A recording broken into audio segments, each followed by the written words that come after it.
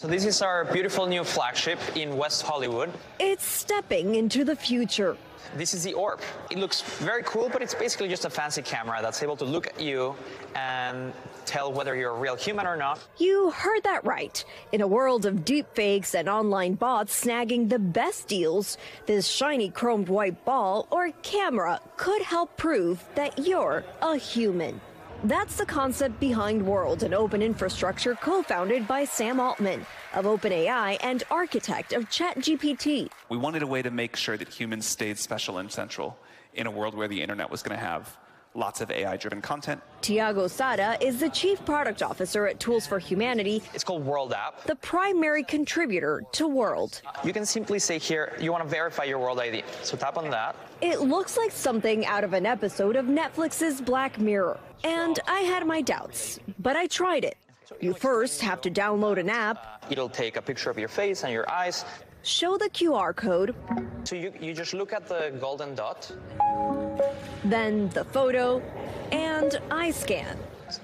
All right, so it's all set. And so now here on your phone, it's telling you the orb is right now verifying your humanity. The data is then sent to your phone. The idea is that it can be used on dating apps, video games, or when buying concert tickets, proving that it is in fact a person, not a machine. AI is amazing, right? We now get to do many things that we couldn't do before. But one of the problems is that when everything can be faked, we don't know who and what to trust. More than 12 million people have already done this. And I'm one of these people that I just get so frustrated with passwords all the time. I have like a zillion passwords. If I could do it just once, my face, I'm done. And in exchange, you could um, I you could could claim my money. Yes, exactly. those of us who do it get paid in a cryptocurrency called WorldCoin. Uh, So it's worth thirty-five dollars and Yes, seventeen and it goes up and down depending on uh, how people do it. In the future, Tools for Humanity hopes to charge a small fee to the website or companies that use it to verify their customers. But right now, it's not making any money. Another possible roadblock privacy concerns. And so what's really going to be key is how is that data held? How is it stored? How is it transferred? Is it deleted immediately? World says that anyone who does this, including me, can delete the information at any point.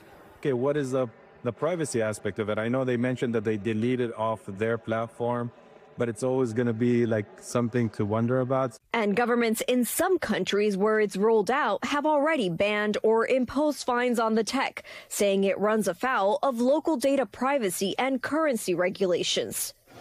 On Monday, a court in Kenya giving World seven days to delete the biometric data gathered from its citizens.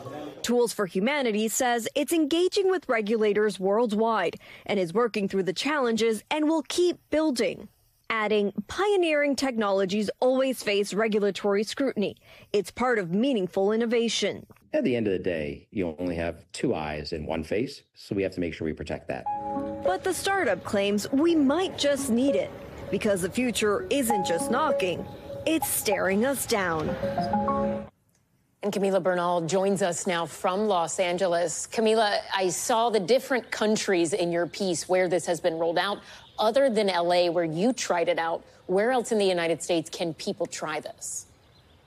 Yeah, so SF opened last week. You saw LA, and then Miami opens up actually tomorrow. Then they'll, they're going to have stores in Atlanta and Nashville and Austin. But the idea is to have these cameras be sort of ATM machines. You can go up to them in stores or anywhere where they are and just show up and identify yourself as a human, Allison. So once people have scanned and given this new form of ID, what can they do with it on World's app? Yeah, so if you want to play a video game and you want to know that you're playing against a human, you can verify yourself through the app.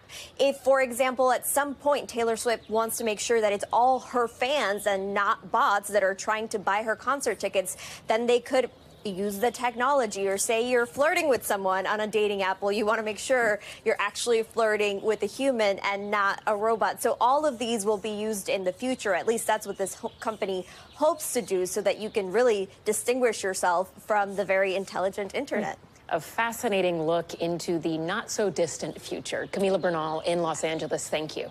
Thanks for watching. Stay updated about breaking news and top stories on the NBC News app or follow us on social media.